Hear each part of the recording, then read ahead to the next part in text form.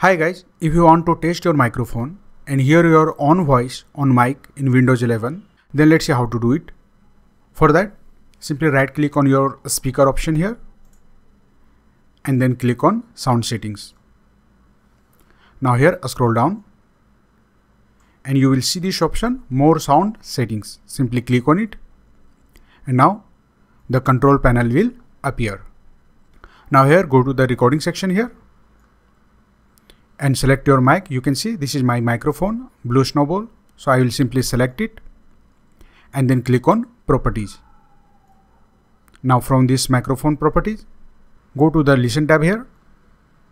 Now to test your mic and hear your voice, simply select this option here, listen to this device, simply select it and then click on apply button here.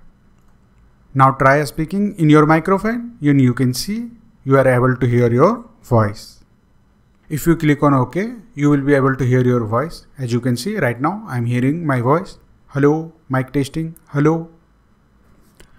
Now to disable it, select your microphone, go to properties.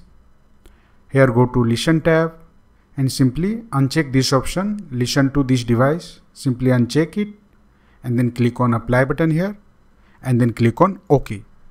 And now the self-hearing voice will be disabled.